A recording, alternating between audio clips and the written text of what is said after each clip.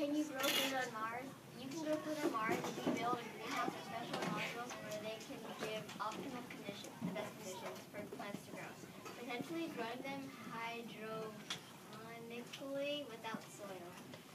Without these greenhouses, plants would struggle to grow in a nutrient-lacking soil, a different atmosphere, lower gravity, and light levels.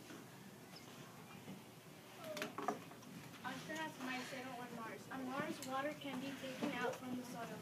The rover will pick up based on the water content in the soil. Oxygen can be produced by splitting water into hy- hydrogen and oxygen. The second major piece of the living unit's atmosphere, nitrogen, will be taken out directly from the Martian atmosphere by the life support unit. Food. Weight, nutrition, and variety are the biggest problems, said Maya R. Cooper. Scientists still need to figure out a way to get, or to get and keep all the resources needed to grow food in outer space.